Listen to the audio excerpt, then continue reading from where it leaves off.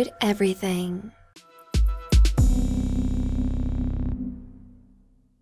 Alright guys, so today we're going to be doing the build a tribute page. You can see uh, Quincy's, I have to believe Quincy was the one who made this. Basically, we're just going to have a heading, a quote, an image. Uh, we're going to add a little fanciness to our image. A uh, some info and a link that will pop up a new page. So this is kind of cool. Um, what we're going to be doing is I did it on one of my more favorite anime characters, Light Yagami. So you'll see we're going to remake this page right now, uh, identical. And the only thing that I added that really wasn't in there, and you can see the the page opens up. We have this image. Is I I created an image and did like kind of a hover over effect just because I thought it would be kind of cool. Because um, it's a pretty basic project, so I thought, meh, let's take an extra second and see what we can do with it. So uh, um, I apologize, my Photoshop skills aren't the best, but that's what we're going to be doing. We're going to be creating a heading, we're going to center everything, we're going to do a little bit of CSS, and then we're going to show how to hover over this image.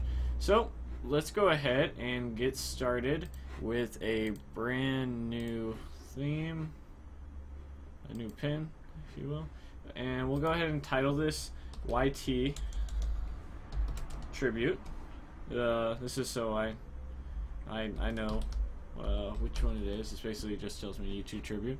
We're not going to use any JS. We're simply going to use CSS. And for CSS, we're going to go ahead and import Bootstrap.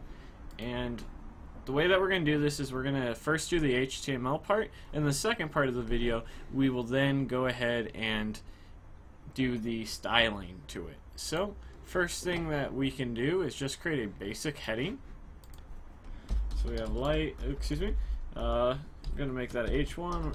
Name is Light Yagami.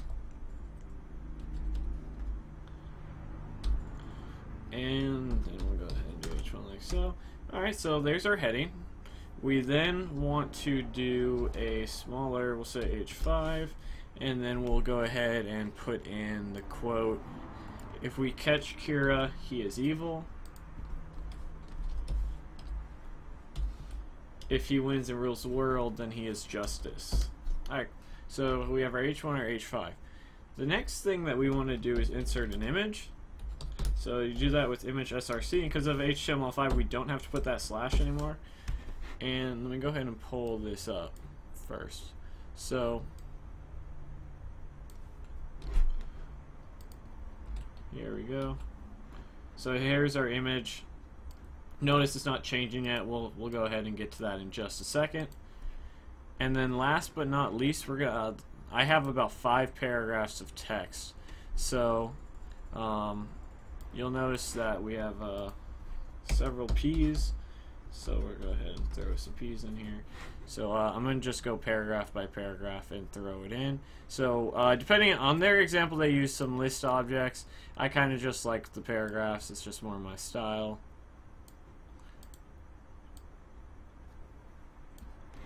So let me go ahead and throw this first one in here like so. And you'll notice there's an A tag here because I used Light Yagami as the place to open up the uh, Light Yagami um, Wikipedia page. So let me go ahead and pull that out real quick. Just in case you want to learn anything from this. So uh, I did get this straight out of uh, their Wikipedia page to begin with.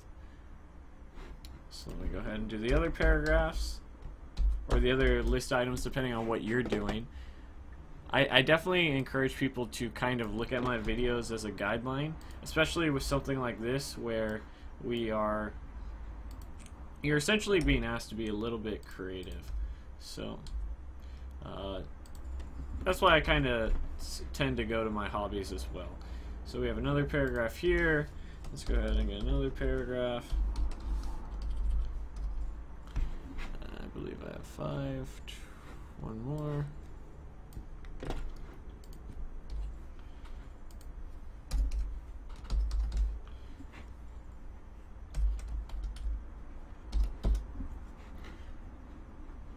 Alright, last but not least.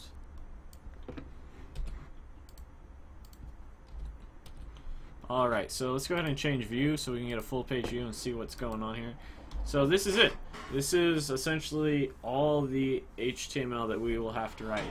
Now, with the image, we are going to make it so that when we hover over it, another image is displayed. That's basically all we're going to do there. And so we'll, we'll do that along with the CSS in the next video. See you guys then. Thanks for watching.